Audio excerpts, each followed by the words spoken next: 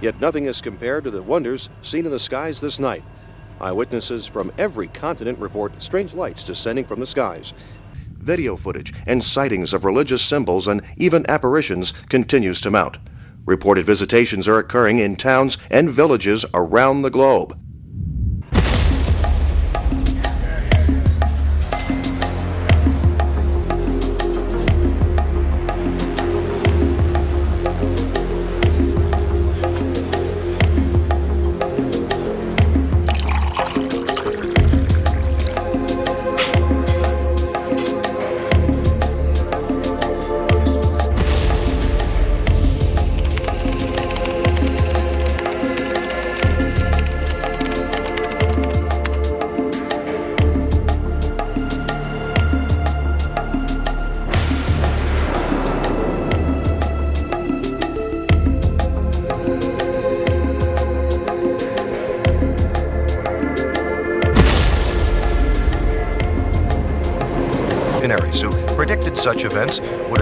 Stepping forward to offer answers. They say we should welcome these visitors as benevolent and that they are here to help us move into a new era of peace and global unity. As bizarre as this may sound, the governments of have, up to this point, offered no other explanation. Stay tuned for an interview with The man who says angels of light have been visiting him since 1995. These alleged angels predicted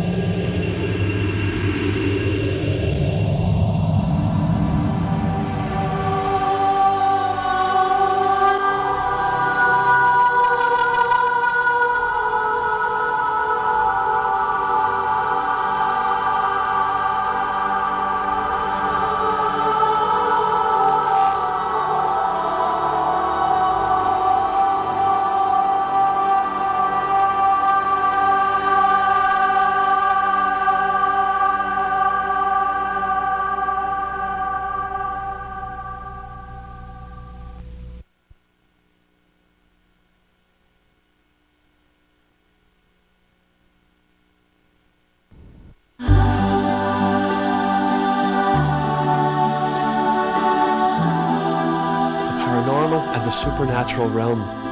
How should the average person react to claims of apparitions visiting Earth? They're unexplainable, yet millions of believers lend credence to the possibility that something is happening. Recent appearances of Mary have been reported in nearly every habitable nation. Are these events legitimate? Is God sending us a message? However you answer, one thing is certain. The apparitions of the Blessed Virgin Mary draw millions to every corner of the globe.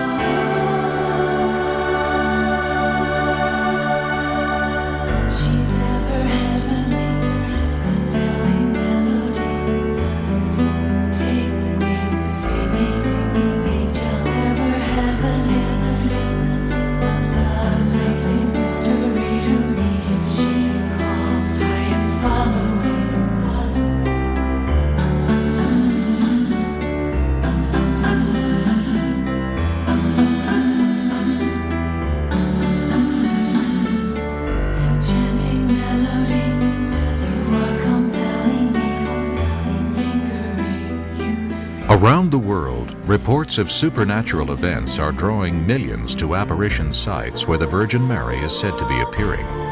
Thousands of visionaries from every conceivable background describe a beautiful young woman glowing in radiant splendor. Her hair's going up. Yeah, she's beautiful. She's real big. Going up? Yeah, she's big. She's just standing there.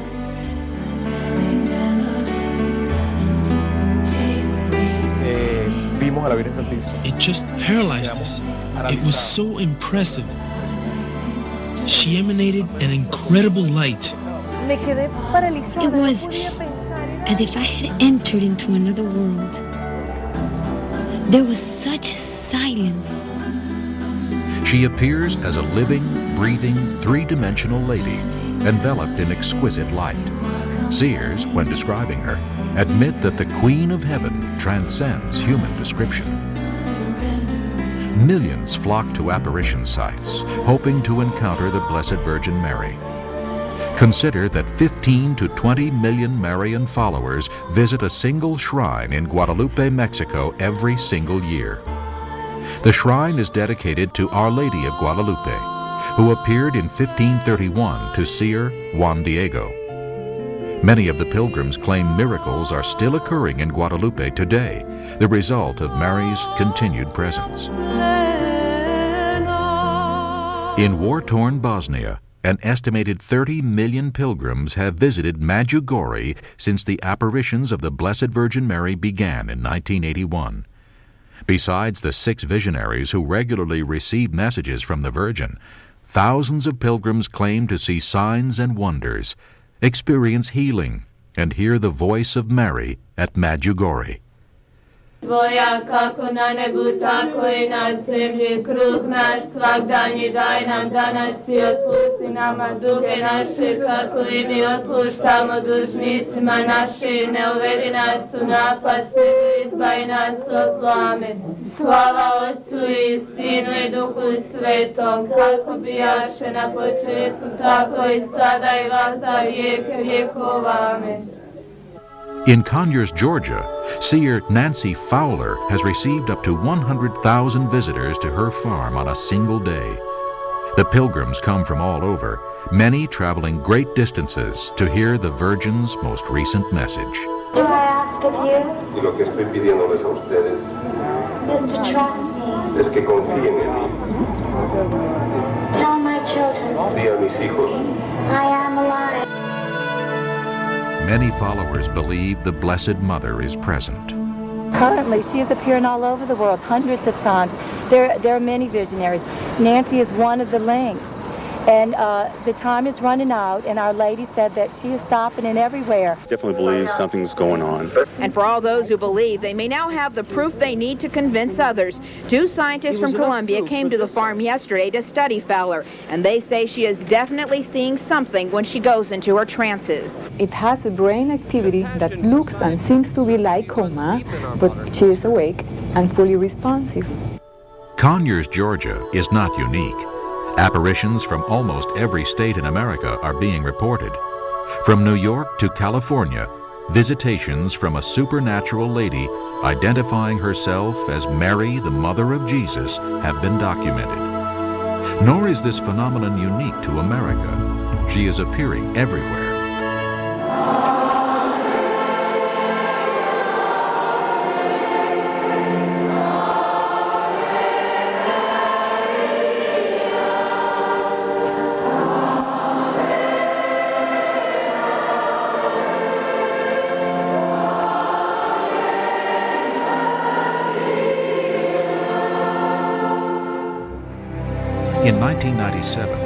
Newsweek ran a cover story on Mary's growing popularity.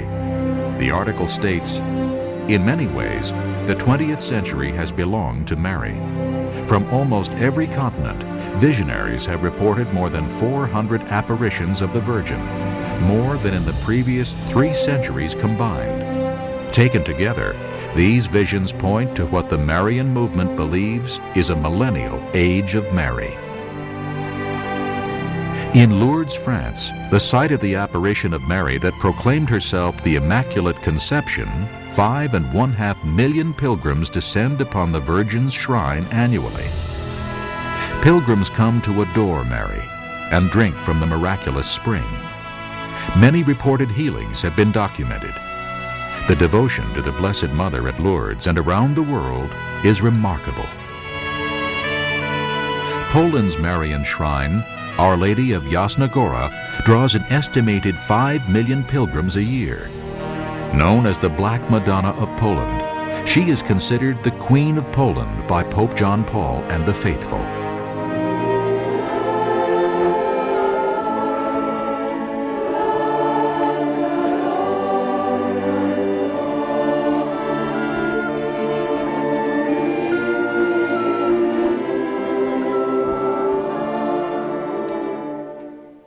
King Casimir the Great, he, he declared Our Lady Queen of Poland. Very unusual.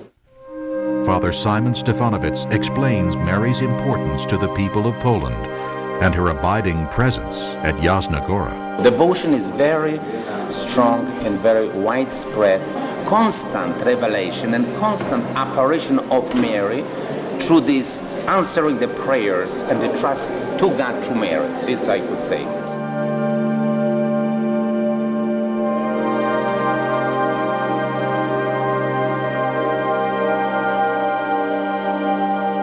Certainly, the Marian movement has international scope. In Knock, Ireland, a single apparition site has drawn millions who come to pray and visit the apparition gable. This Marian shrine has been honored by four popes this century, including Pope John Paul II, who went on pilgrimage to Knock in 1979, and Mother Teresa, who visited the apparition site in 1993. Researchers and experts acknowledge that apparitions are occurring worldwide. Over the past several years, as I've traveled to many different countries around the world, I've made some observations that apparitions of Mary are appearing or have appeared almost everywhere. One of the observations that I've made is that when apparitions are being made, there are supernatural phenomena that are associated with them, including healings, signs and wonders, and as people call them, miracles. And there's no question whatsoever in my mind that these things are credible, that they are happening. I think without doubt millions of people are claiming that they are seeing visions of Mary. I think it's interesting that in the last 150 years, as the devotion to Mary has increased through the proclamation of the Immaculate Conception and the Assumption of Mary, and more prayer is being directed to Mary, I'm not surprised that these apparitions are appearing. The following of Mary today is becoming worldwide. I, I believe that it is going not only to become greater in America, uh, but uh, already in South America and Central America, because that's where I've been so many times. It, it's huge. Uh, as a matter of fact, if you don't believe in, in Mary, you know, you're like a cast off. The apparitions of uh, uh, Virgin Mary are supernatural, there's no doubt. Uh, beginning in Medjugorje, it's spreading all around the Croatia. And uh, people are devoted to Mary because it is a supernatural power. Unlike other alleged paranormal activities, evidence indicates that the apparitions of the Virgin Mary are of a supernatural origin and that her motives are pure. Her frequent messages to pray, turn to God, and work toward peace indicate a benevolent agenda. Also, the good fruits attributed to her appearances cannot be overstated. Many individuals claim that they have drawn closer to God since their encounter with the Virgin. Others testify to the many signs and wonders as evidence that God has sent Mary in these last days.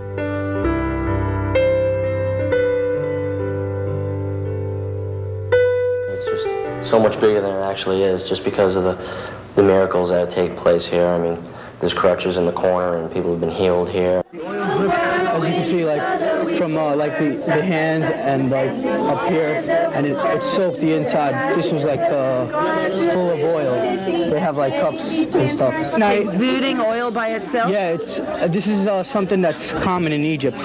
This happens a lot, and they're used to it. It's really not unusual. It's just unusual that it happened here in America. It's a chance for, for people to see that there is a miracle here and try to get them to, to, to believe in, in something that might a lot of people might not believe in just hearing about it. They say God works in mysterious ways. I saw the Virgin. She came out of the clouds, you know, and I saw her. I saw the uh, the silhouette. I saw the Virgin Mary wearing a crown of gold. Mary had turned her silver into gold. This was all sterling silver. The beads and the crucifix, everything is gold. I touched my rosary to the cross hanging outside the home, and it actually turned from silver to gold. And the silent young man himself produces one picture after another of the Mother Mary, along with statuettes, all with liquid coming from the eyes. What do you believe is on that cotton wool? Mary's tears. Tears of Mary. Is it, I mean, physically, what do you believe it is? The tears of Mary. Tears of Mary. You don't think it's scented oil? No. It's impossible. This oil is flowing. It cannot be scented oil.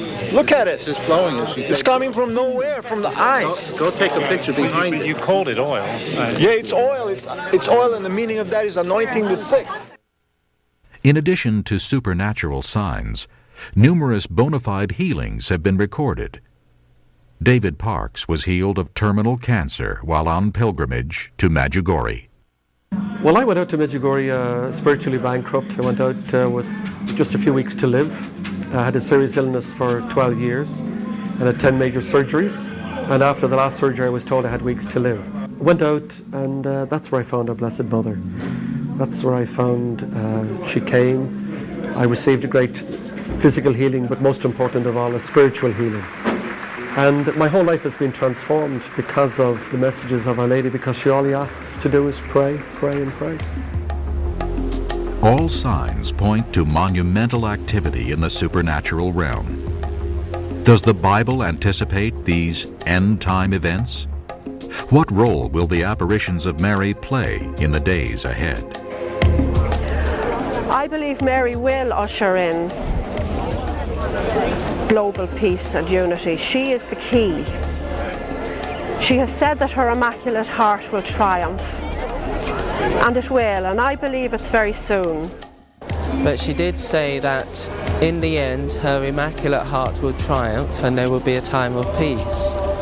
And um, so it's definitely, um, if we follow Our Lady's request, that's praying the Rosary every day, for the world to be consecrated to her Immaculate Heart and for us to do the, the, the, devotions of the first five Saturdays, then Our Lady said that in the end her Immaculate Heart will triumph and there will be peace and a time of, of, of goodness and peace in the world.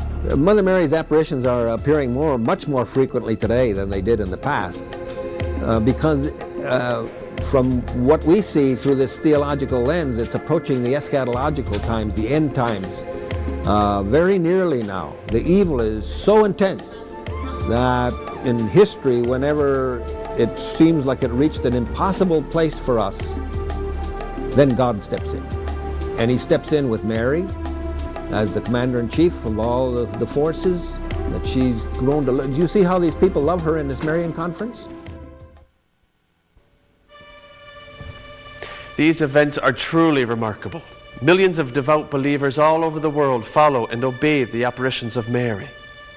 However, the Bible tells us to test all spirits, even those that come in the name of Christ. As Christians, we believe the Bible is God's inspired message to mankind. Let's divert for a moment and examine some of the evidence which demonstrates that the Bible is truly God's Word and our only source of discerning spiritual truth.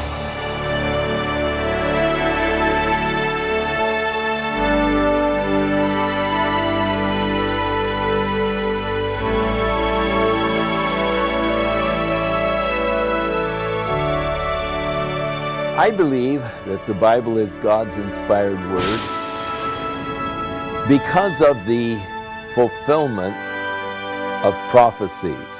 In the Old Testament, there are more than 300 predictions concerning the Messiah and his first coming that Jesus fulfilled when he came to earth. Well, there are many prophecies that we could look at. The Bible says that he would be born of a virgin. We know that that took place. The Bible says that he would be born in Bethlehem of Judah. That took place. Daniel chapter 9 says that he, the Messiah, would have to be born before the destruction of the temple and the city of Jerusalem in 70 AD by Titus and the Roman army. And so Jesus fulfilling those prophecies. Psalm 22 graphically portrays the cruel death, the crucifixion of Jesus Christ. In fact, Psalm 22, which graphically details the crucifixion, was written 1,000 years before crucifixion was a method of punishment by the Romans. The Old Testament is replete with prophecies anticipating the Messiah. For instance, Isaiah 61 prophesied that Messiah would preach good tidings to the poor and liberty to the captives, while Deuteronomy 18:18 declared that Messiah would be a prophet. Zechariah wrote of Messiah these words: Rejoice greatly, O daughter of Zion. Shout, O daughter of Jerusalem. Behold, your king is coming to you. He is just and having salvation, lowly and riding on a donkey. And the prophet Isaiah wrote this concerning Messiah He was wounded for our transgressions, he was bruised for our iniquities. The chastisement for our peace was upon him, and by his stripes we are healed. All we like sheep have gone astray. We have turned every one to his own way, and the Lord has laid on him the iniquity of us all. In addition, the Holy Spirit predicted the crucifixion 1,000 years before it was invented. They pierced my hands and my feet. As well, God spoke through Zechariah, And I will pour on the house of David and on the inhabitants of Jerusalem the spirit of grace and supplication. Then they will look on me, whom they pierced. What are the chance factors that Jesus could have fulfilled these 300 predictions? One of the predictions is that Bethlehem would be his birthplace. Now, what chances are there for a individual to be born in Bethlehem? Well, you take the average population of the earth from the time of Micah's prophecy, and you compare it with the average prop, uh, population of Bethlehem. And you find that only one in 280,000 people were born in Bethlehem. The minute you say Bethlehem would be his birthplace, you've eliminated the vast majority of people from claiming to be the Messiah.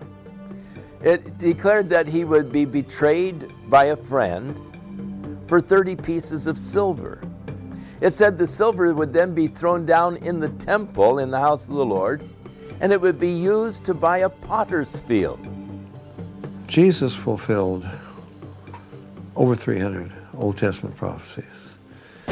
Uh, I, I, have a, a, mere bachelor's degree in math. I know a little bit about probability, and uh, it couldn't happen by chance. Furthermore, there are things that you just couldn't manipulate uh, either. Uh, for example, it was prophesied he would be born in Bethlehem. How do you get yourself born in Bethlehem? It was prophesied that he would rise from the dead. How do you rise from the dead if you're not really God? It was prophesied, Daniel 9, the very day that he would ride into Jerusalem on that donkey. Now, how could you possibly, you've got to be born at the right time in history. And how can you manipulate a crowd, a crowd of people that lined the road down from the Mount of Olives into Jerusalem and hailed him as the Messiah? How are you going to do that? Every detail of his betrayal, the price of the transaction, where it took place, who finally ends up with the money, uh, and on and on it goes. Uh, incredible details, all laid out in advance. And no one can dispute that because the Old Testament was translated into Greek three centuries before Christ was born, the so called Septuagint version. We have four copies of those. Amazingly, Jesus fulfilled all the messianic prophecies exactly, though they were written hundreds of years before his birth. The probability of fulfilling just eight of these prophecies has been calculated to be one chance in 10 to the 28th power. Certainly, Jesus is the Messiah, God the Son, the Savior of the world. When Luke wrote to his friend Theophilus, the book known as the Acts of the Apostles, he said that Jesus showed himself alive after his passion or death by many infallible proofs. With Jesus, there were many eyewitnesses of his resurrection. In fact, Paul tells us that there was over 500 at one time. The capstone of Christianity is the resurrection of Christ. The evidence that Jesus rose from the dead is overwhelming. First, the New Testament reports that hundreds of eyewitnesses saw Jesus after he rose. If I told you that um, John F. Kennedy was killed in Dealey Plaza by a bow and arrow, could I ever sell you that story? Of course not. Why? Because among us are eyewitnesses to that event. And when Paul wrote his first letter to the Corinthians, among his audience were hundreds of people, because over 500 people witnessed the Lord's return. So he didn't have the burden of, of, uh, of trying to create that out of thin air. The people that he was writing to were aware of it. Second, the Roman and Jewish authorities were never able to produce Christ's body, though they sealed and guarded the tomb. There are two major responses to the resurrection. The first is Rome, which is, when you read in the Gospels, is quite muted, uh, bearing in mind that uh, there were a strong military power in Palestine at the time, and they could have um, had the, the disciples stolen the body, they could have got the might of Rome to produce that body, but they didn't, which suggests to me that the resurrection was genuine. If the resurrection of Jesus Christ didn't occur, it would have been very easy to disprove. Point to the body. The body of Jesus Christ was not found. Third, the apostles, who were cowards during Jesus' trials and crucifixion, became bold witnesses of his resurrection after they met the risen Lord, even to their dying breath. With regards to the disciples, um, their initial response is one of fear, uh, intimidation of the Jews, but after the resurrection, there's a great boldness. Um, so again, that suggests to me that something happened that changed their lives, that they were willing even to die as a result of the gospel they preached regarding the coming of the Lord Jesus Christ.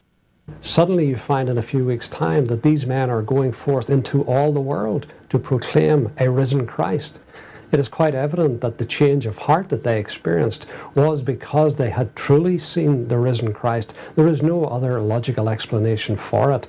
And these men, all but one of them, lost their lives proclaiming Christ him crucified and him risen from the dead. Only one of them reached a ripe old age, and that was John. So it is quite clear that the evidence of history in the lives of these men confirms the resurrected Christ. Furthermore, Jesus' death and resurrection changed the course of history and rewrote time from BC, meaning before Christ, to AD or Anno Domini, meaning the year of our Lord. Anyone rejecting Christ's resurrection or the Bible as the inspired Word of God is rejecting a fact proven more absolutely than any other fact in the world. Someone has said that the Bible is like an anvil, that the hammers of men have been pounding against it for centuries. The hammers have long worn out, but the anvil still stands. And so the Bible, God's Word, people have attacked it for years, it still stands, and the attackers have long fallen. Truly, the Bible is God's word to mankind. 2 Timothy 3:16 states that all scripture is given by inspiration of God and is profitable for doctrine and for instruction. In John chapter 1 we are told that Jesus himself is the word of God. And Psalm 138 declares that God has even magnified his word above his name. It is with the word of God that we will test these messages from heaven.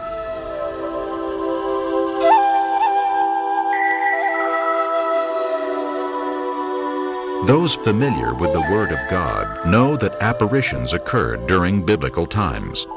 Trances and uh, apparitions are biblical. If we look in the Bible, we see examples, say, for example, in Acts 10, where Peter is fasting and, and in prayer, and he falls into a trance. And in this trance, an angel appears to him, and as a result of that, he brings the gospel to the Gentiles via Cornelius. And today, there is significant evidence that apparitions are manifesting. For example, the video Marian Apparitions of the 20th Century documents visionaries during actual encounters with an apparition.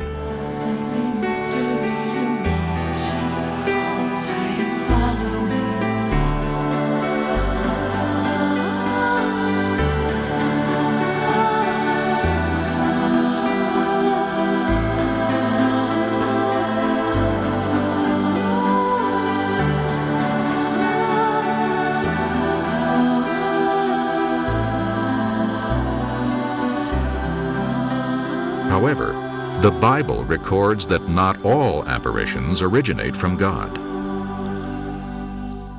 The only way to test experiences that are biblically related is to test them biblically. Because if we embrace experiences that are extra biblical, there is no question we're going to be deceived.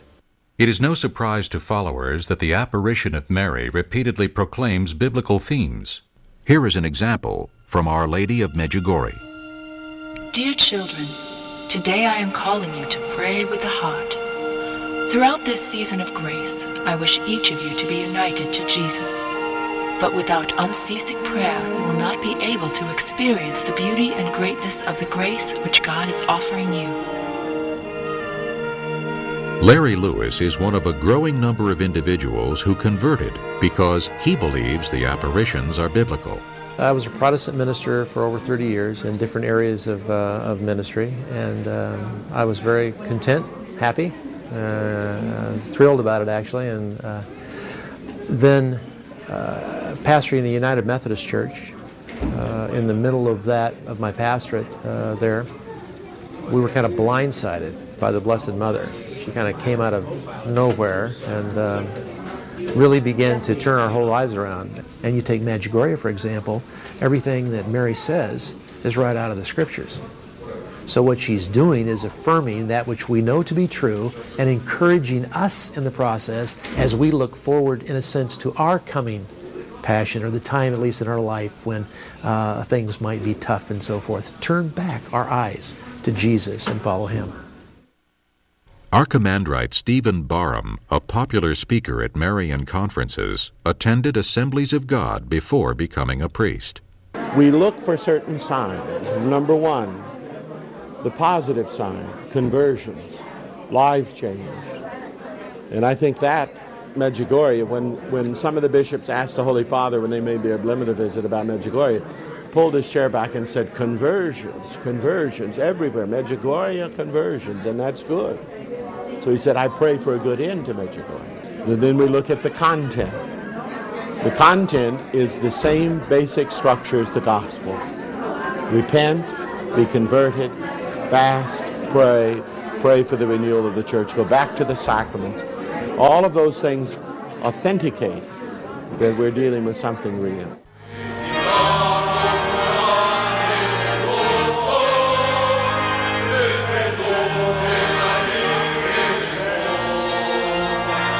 For these reasons and others, the Roman Catholic Church has approved several apparitions.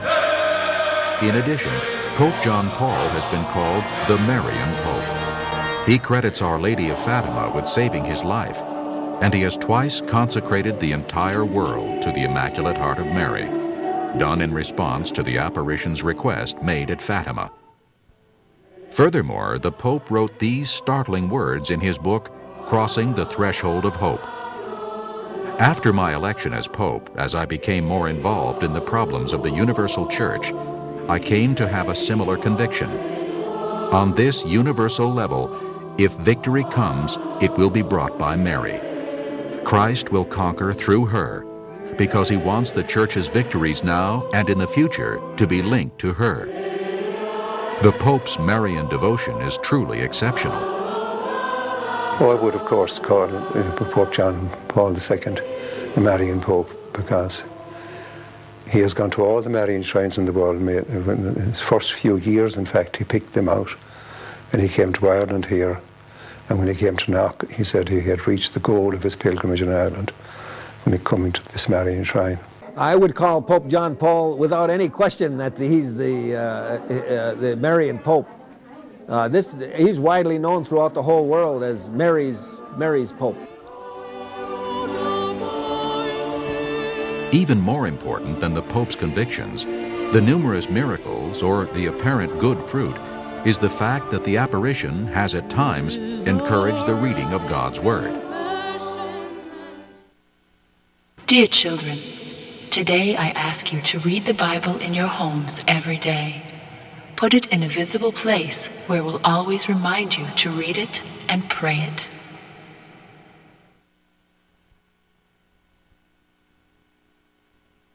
The apparitions messages have many scriptural truths. Certainly, messages to pray, read the Bible, and trust in Jesus are biblical. Is it possible that God has sent the Blessed Virgin Mary to wake us out of our spiritual slumber?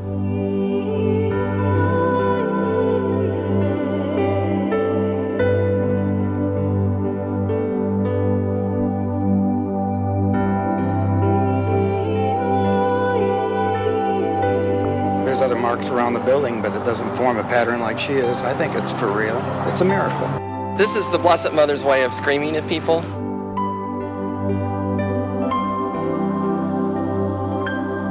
Despite the evidence that the apparitions are benevolent, a number of Christians are concerned that this phenomenon may be a grand deception. The scriptures warn us very clearly that Satan is a master deceiver and that Satan actually can appear as an angel of light. And we know that the Word of God is light. So Satan can actually manifest himself in the form of the truth or appear to be true and yet be deceptive. Satan, we're told, is like a roaring lion, seeking whom he may devour. Or as Paul writes, he is the one whose schemes or plans to deceive the whole world. He's the God of this world who blinds the minds of the unbelieving so that they might not see the light of the glorious gospel. He has a master plan to deceive. I believe that we must test every experience by the Word of God. I think that is clear in the case of Peter, who had a marvelous experience, the transfiguration of Christ. And yet, in his own epistle, he wrote, We have a more sure word of prophecy, and he was referring to the Word of God. That is the standard by which we must judge all things, not our own personal experience, because experiences are most unreliable. To critically test these manifestations, we will examine those messages that have received full church approval, or those messages which carry the imprimatur of the local Catholic bishop. And Medjugorje, though not formally approved, it has been openly affirmed by numerous bishops, cardinals, and the Pope himself. The following represent common messages from the apparition of Mary. Dear children, today I invite you to ask yourself why I am with you this long. I am the mediatrix between you and God. Do not let yourselves be seized by fear or discouragement. Have great confidence in the powerful work of intercession and mediation of your Heavenly Mother. Many apparitions give the message that Mary is the mediator or intercessor for mankind. That is contrary to the scriptures. In the book of Hebrews, chapter 7, verse 25, the Bible says that Jesus Christ ever lives to make intercession for the saints. And in the book of 1 Timothy and in the book of Hebrews, the Bible declares that there is one God and one mediator between God and men, the man Christ Jesus. For someone to be the mediator between God and man, he had to be fully God, he had to be fully man, he had to be sinless, and Jesus Christ, indeed, is fully God and fully man. Little children, I am the mother of good counsel, mediator, who is trying to persuade you to listen to the call. My message is of faith, love, and hope. More than anything, it brings reconciliation between people and nations. It is the only thing that can save this century from war and eternal death. Jesus is the only way, the only truth, and only life, and He is the bridge builder between God and men. And if you try to go to the right or the left, you'll never get there. It's only through Jesus Christ, period. The Bible states clearly there is one God and one mediator between God and men, the man Christ Jesus. Not only does the apparition claim to be our mediator and intercessor, but she also claims to be our advocate with God. The world is degenerating, so much so that it was necessary for the Father and the Son to send me into the world, among all the peoples, in order to be their advocate and to save them. We are told in 1 John 2 that if any man sin, we have an advocate with the Father, Jesus Christ, the righteous. Christ alone was righteous, and therefore he, on the basis of his righteousness, is able to intercede, to advocate for sinners. And so these roles belong exclusively to Christ and cannot in any shape or form be ascribed to Mary. Jesus Christ is our advocate. He never suggested that anybody come to him through Mary. Never on this earth and not now. Never ever is this stated. And furthermore, it denigrates Jesus Christ. Why can't I go right to him? He's my Savior. He's the one who loves me. And he said that we would go to the Father through him. Then where does Mary come in? Not in the Bible. In addition to these claims, the apparition actually says she is here to save the world. I call upon you to open yourselves completely to me, so that through each of you I may be enabled to convert and save the world. I alone am able still to save you from the calamities which approach. Those who place their confidence in me will be saved. My daughter, in this time I am the ark for all your brethren. I am the ark of peace. I am the ark of salvation, the ark where my children must enter if they wish to live in the kingdom of God. I think it's most important in Matthew chapter 1 when the angel appears to Joseph to announce the impending birth. He says, first of all, about Mary, she shall bear a son that is to be her role, to bear a son. And then he says to Joseph, and this is what he had to do Thou shalt call his name Jesus, for he shall save his people from their sins. So Mary was to bear the son, Joseph was to name him, but Christ is the Saviour. He will save people from their sins. And of course, Peter confirms in his first epistle that we were not redeemed with corruptible things as silver and gold, but with the precious blood of Christ, as of a lamb without spot and without blemish. There is only one Saviour of men. Christ said himself, The Son of Man came to seek and to save that which was lost you know, Mary acknowledges that she's a sinner and she needs a Savior.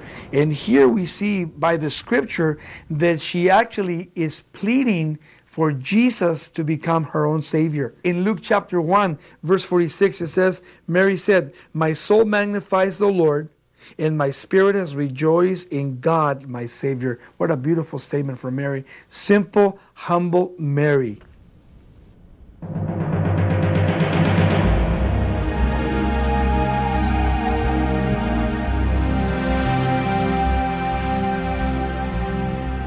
The Apostle Peter proclaimed that Jesus has become the chief cornerstone, nor is there salvation in any other.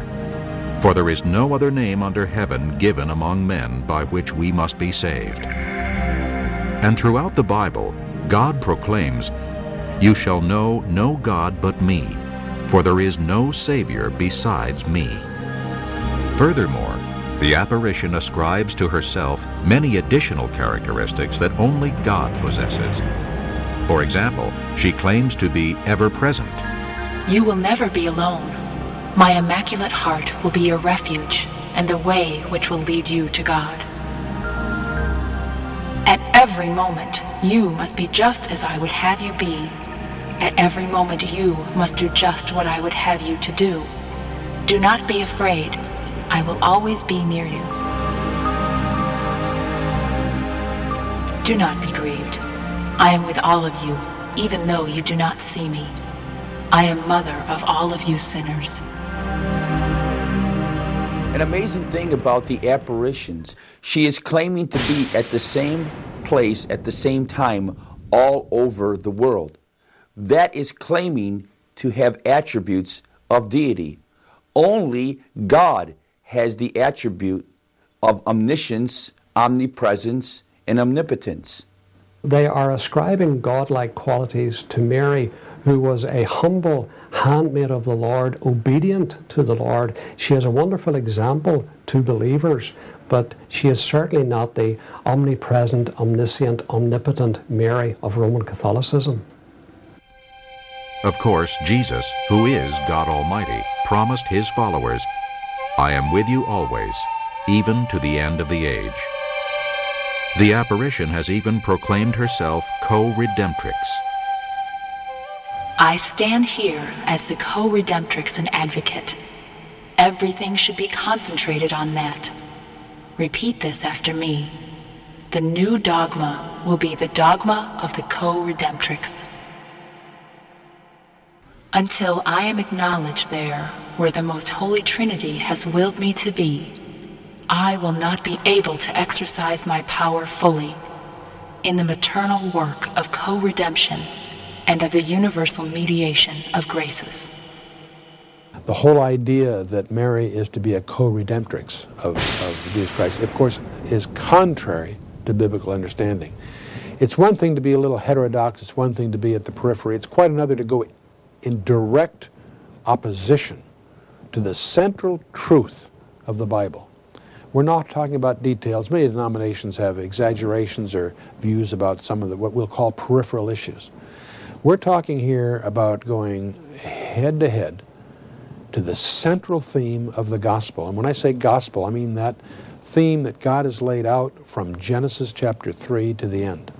And uh, that's why these, th these assertions, these claims are, are anti-biblical, not just non-biblical, anti-biblical, and uh, are dangerous.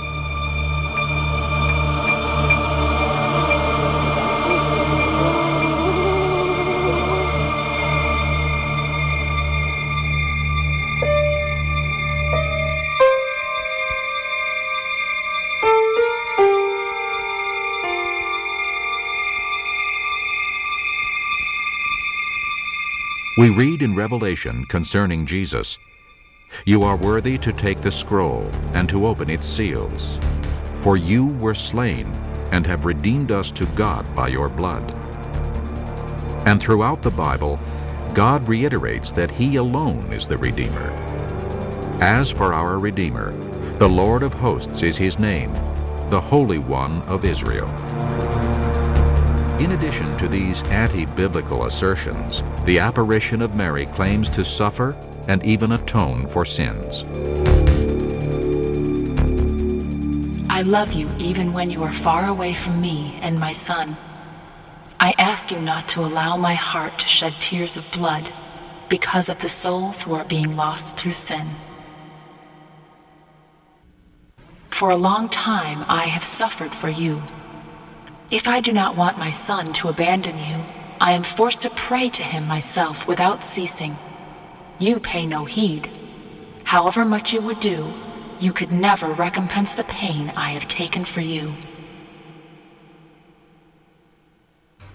I boldly assert that his suffering became my suffering because his heart was mine. And just as Adam and Eve sold the world for an apple, so, in a certain sense, my son and I redeemed the world with one heart.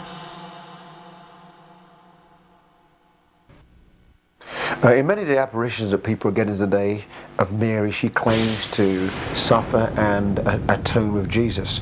Uh, that is not biblical because the Bible declares that Christ uh, has suffered for our sins. In fact, when he died, he said, It is finished.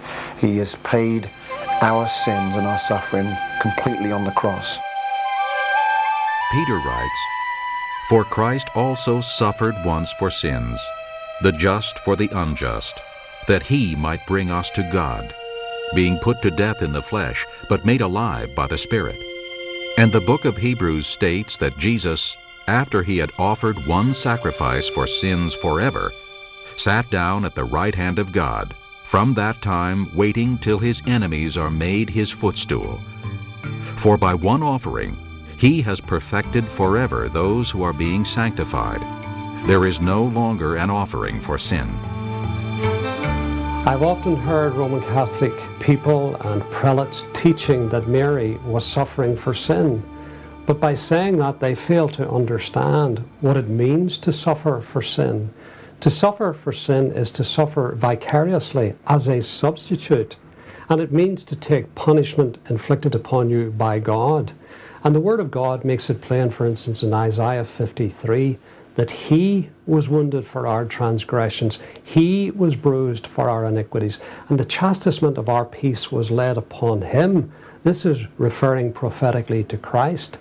The last verse of Romans 4 says that He, Christ, was delivered for our offences. Peter says that He, that is Christ, bore our sins in His own body upon the tree. And the suffering for sin had to involve death because the wages of sin is death. So therefore, Mary in no sense suffered for us. This comparison could go on and on as the apparition ascribes to Mary nearly every attribute found only in Christ.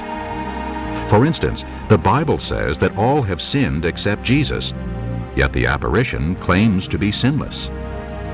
While Jesus is the new Adam, the apparition claims to be the new Eve. Jesus ascended bodily, yet the apparition claims that Mary was assumed bodily. Jesus alone destroyed the works of the devil Yet the apparition claims that Mary will crush the serpent. The Bible calls Jesus the morning star, while the apparition refers to Mary as the morning star. Despite the apparition's claims, God is jealous for his glory. I am the Lord, that is my name, and my glory I will not give to another, nor my praise to carved images.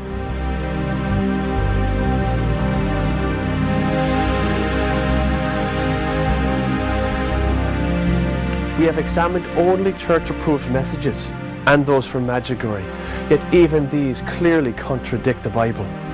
Certainly the humble maidservant of the Lord would never draw attention to herself, nor would the Blessed Virgin Mary ever contradict the Word of God.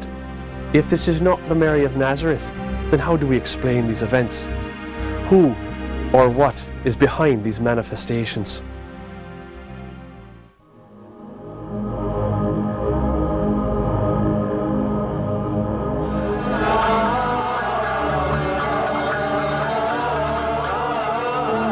This one has the Blessed Mother in it, if you can see. That is the Blessed Mother.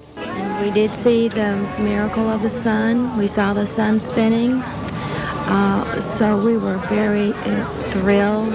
I saw the cross, okay, right, okay, in the sun, and then I saw the host right in the middle of the sun, and then I saw another circle.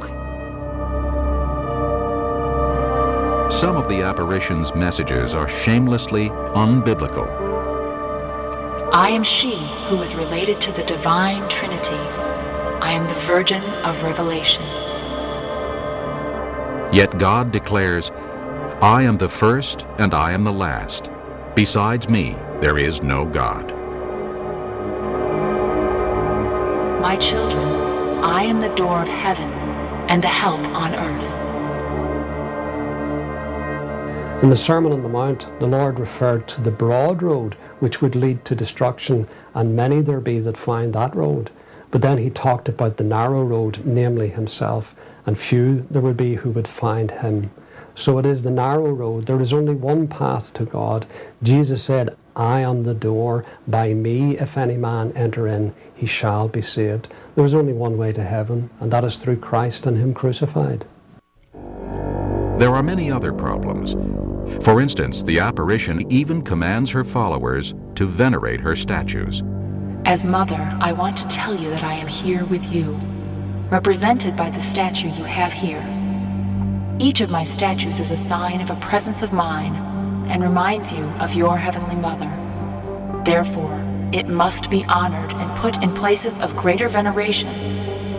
You should look with love at every image of your Heavenly Mother Contrast this with the Lord's command given in Deuteronomy. Take careful heed to yourselves, for you saw no form when the Lord spoke to you at Horeb out of the midst of the fire, lest you act corruptly and make for yourselves a carved image in the form of any figure, the likeness of male or female. The apparition has also requested shrines be erected in her honor around the globe. I ardently desire a temple built for me here, where I can show and offer all my love, compassion, help, and protection. For I am your merciful mother. Most of the apparitions ask for a shrine to be built, and shrines are built, there are thousands all over the world. And people come and kneel before Mary. They, I've seen them walking on their knees, bloody knees, at Fatima and so forth. Uh, and they're doing this out of penance and trying to curry Mary's favor. You don't have to do that. Furthermore, we don't need Mary's favor. Uh, we need Christ's redemption, His grace and mercy, and it comes to us by grace. It's not of works, otherwise, it wouldn't be grace. So you can't earn it. And never, ever did anyone in the Bible bow down before Mary, even when Mary was there with, at the birth of Jesus. It says they worshiped Him.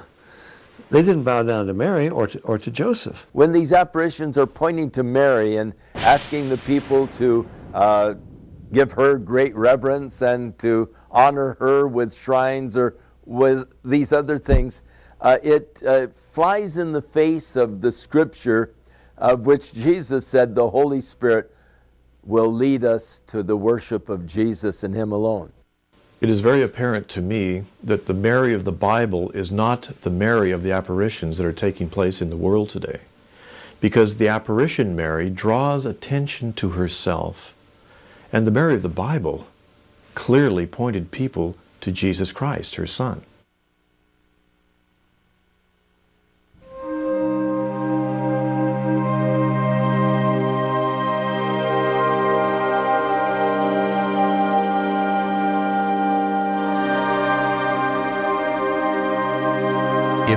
Apparitions are not Mary, who then is appearing?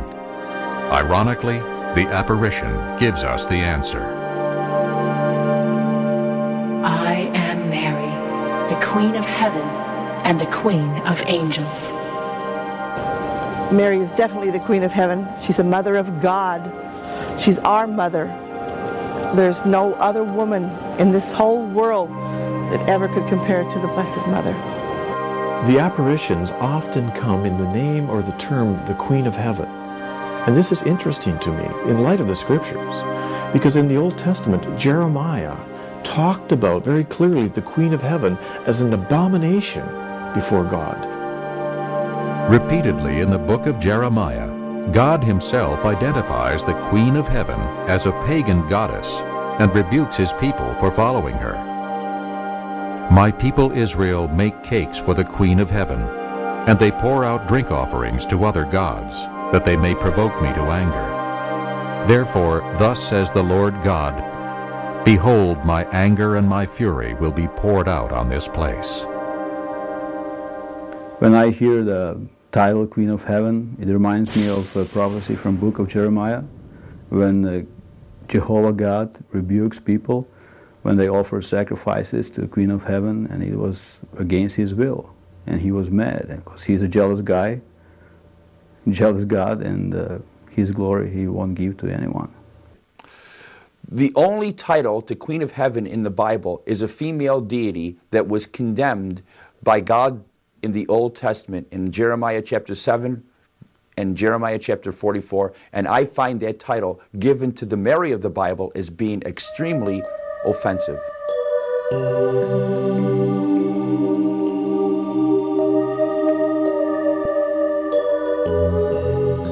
Furthermore, the Queen of Heaven often appears with a baby, presumably Jesus.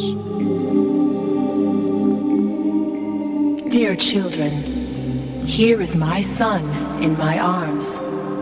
I would like to ask you to be a light for all in the year to come.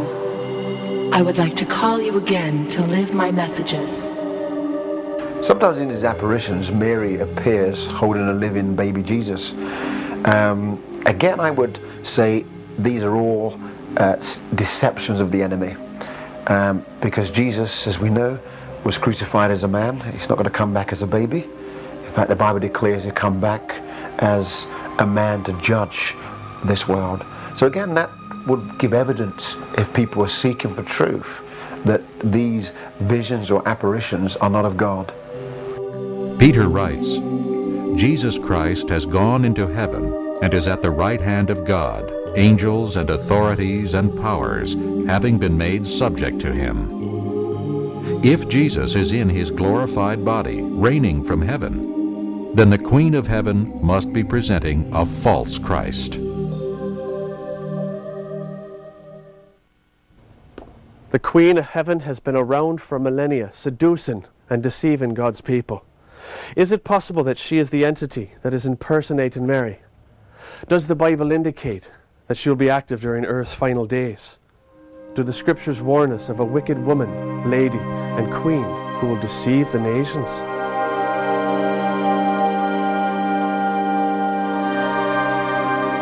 In the book of Revelation, we are told of a queen who will influence the world.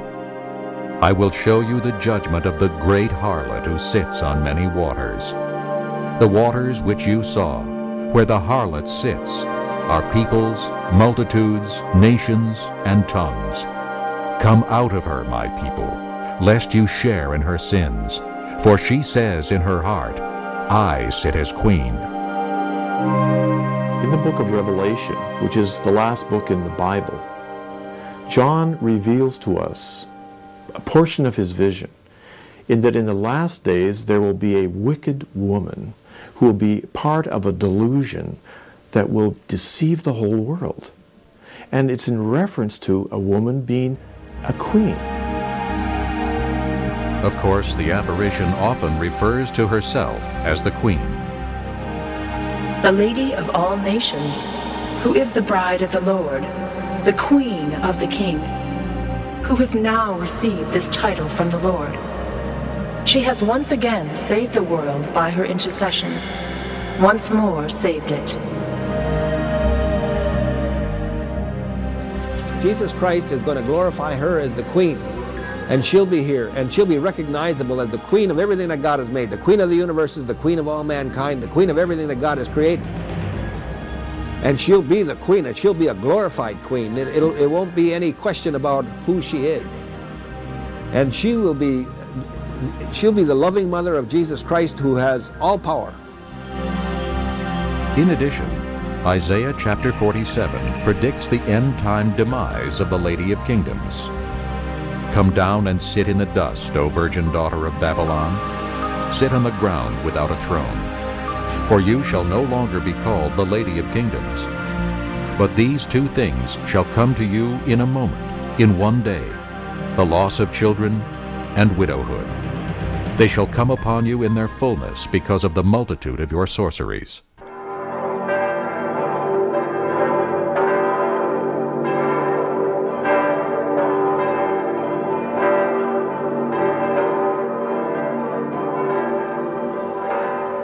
It is disturbing to discover that a major apparition calls herself the Lady of All Nations. At the International Day of Prayer of the Mother and Lady of All Nations, held since 1997 in Amsterdam, thousands gathered to honor and spread the messages of the Lady of All Nations. I, together with my auxiliary bishop, Monsignor Punt, approve the title Lady of All Nations and allowed its public veneration.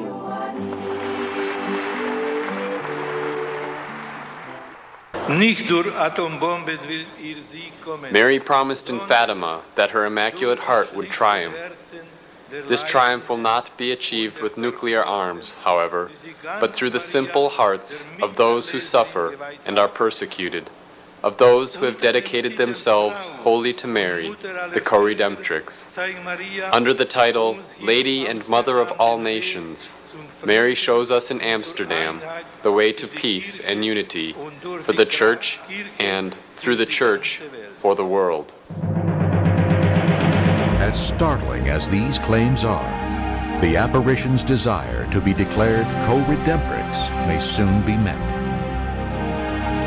When the dogma, the last dogma in Marian history, has been proclaimed, the Lady of all nations will give peace, true peace to the world. The nations, however, must say my prayer in union with the Church. They must know that the Lady of all nations has come as co-redemptrix, mediatrix, and advocate. So be it.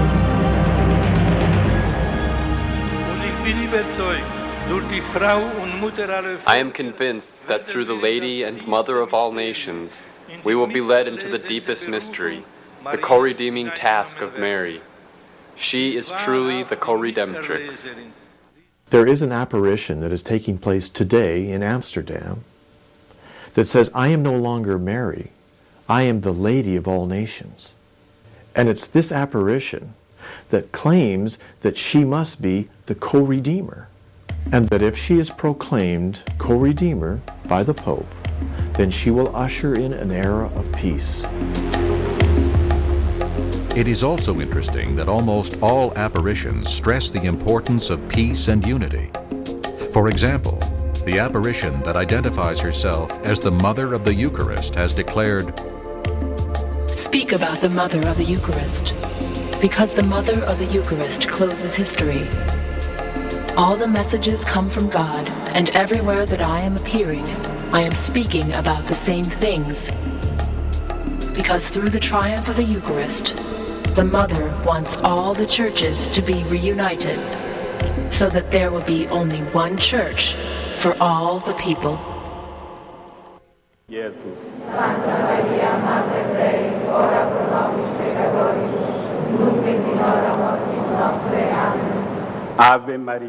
Furthermore, on October 8, 2000, Pope John Paul, with 1,500 bishops, the largest group to assemble since Vatican II, entrusted humanity and the third millennium to Our Lady of Fatima, an apparition who promises her triumph and global peace.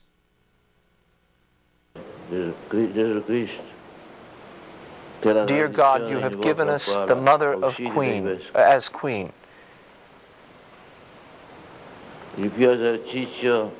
Through her intercession, grant us the grace of living eternity with she and her Son. So her, her goal and her objective is, uh, is to bring uh, the body of Christ together and through so that we who have been separated, whether it's the Orthodox, whether it's the Protestants, whether it's uh, from the Catholics, you know, whatever group you're talking about, we who have been uh, estranged from one another for all of these years would come together that we might in fact be the body of Christ as a whole unit, as Christ prayed in John 17 that we would be.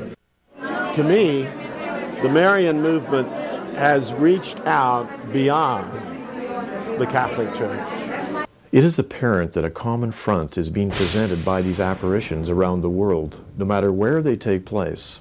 There's a common message, and that is a global peace, global unity for peace, and no one apparition has ever denied any other apparition. Well, I think the, the world is very, very hungry for peace, and uh, clearly there will be no real peace until the Prince of Peace comes. There will be a false peace. The Bible lays out a great deal of detail of world events the whole geopolitical horizon is laid out in a period of time that we call the end times. The messages of peace are uh, also prophetically relevant. But the Bible tells us when they say peace and safety, then comes sudden destruction. This global peace and unity theme is interesting because the world is also moving towards what is called ecumenicalism. And uh, that all sounds good at first. Gee, we're all going to get along. Until you realize it involves the denial of truth. The Bible warns of a false peace and unity that will deceive the nations. Furthermore, Jesus and the New Testament writers caution that deception will increase in the last days. For example, Paul writes, But evil men and impostors will grow worse and worse, deceiving and being deceived. In addition, the Bible warns that the coming of the lawless one is according to the working of Satan, with all power, signs, and lying wonders, and with all unrighteous deception among those who perish, because they did not receive the love of the truth, that they might be saved. Throughout the New Testament, we see many different writers, and of course Jesus himself, warning regarding deception in the last days. Jesus said, Many will be deceived in my name by many. Paul talked about this deception regarding an apostasy that would take place and many being deceived, believing the lie, Peter writes about the deception. Beware of deception that's coming. And believe me, it seems to be happening all around us. In Matthew 24 24, it says this. This is again Jesus speaking in 24. He says, For false Christs and false prophets will arise and show great signs and wonders, as notice as to be deceived, if possible, the very elect. So Jesus here in the 24th chapter, he's speaking to his disciples, he's speaking to us too, and he's sharing that in the last days there's going to be a great deception.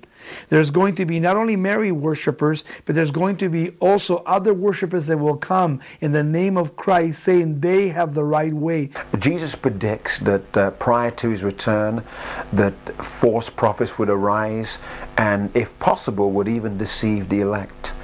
Um, that suggests to me that these signs and wonders would be so convincing that uh, apart from the grace of God, even genuine Christians can find themselves being deceived and led away. And only by trusting in Jesus and Him totally will we find liberty and freedom from sin. And I would call upon you, if you're, you're, you're out there and you're trusting in your church, you're trusting in your works, none of that will save you. What you need is to believe in the Lord Jesus Christ, that He will set you free and He will give you eternal life today. Whenever a person says that they are trusting in Jesus and, the moment they say and, they've gone too far. Our trust in Jesus alone will bring to us salvation and eternal life. There is a uh, hymn that is sung in the church uh, that talks about I dare not trust the sweetest frame, but wholly lean on Jesus' name. On Christ, the solid rock I stand. All other ground is sinking sand. The Bible is very clear regarding the gospel of Jesus Christ. And that is the message which sets us free. That Jesus Christ loved us so much that he himself came to this earth and died for us as a sacrifice for our sins. We couldn't do it. He did. And because of his sacrifice, and because of who he is and what he's done, and when we recognize who we are and what we've done, and ask him to forgive us for our sins, the Bible says that we can enter into a relationship with him, the creator of the universe, and that relationship will last for eternity. Jesus is the creator, he is the redeemer. There is only one redeemer, and his name is Jesus Christ.